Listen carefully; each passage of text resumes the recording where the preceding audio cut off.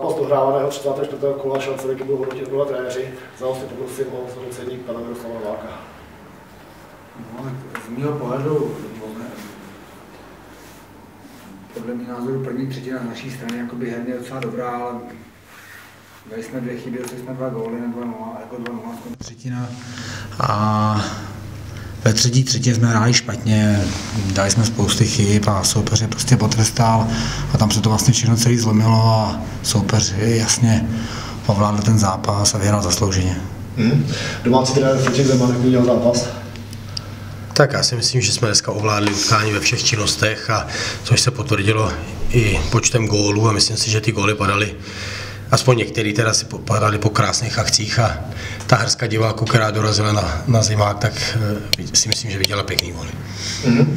Ve druhé třetí to docela jiskřilo, byly tam i větší tresty. Tak to k hokeji patří, jako já to nebudu víc komentovat, bylo to tak, jak to bylo a, a nemohli jsme si myslet, že to utkání budeme, odehrajeme v rukavičkách. Mm-hmm. Pánové otázky? Pokud nejsou, děkuji za účast a hezký večer. Jo, dneska ještě jednou gratuluju. Šťastnou cestu.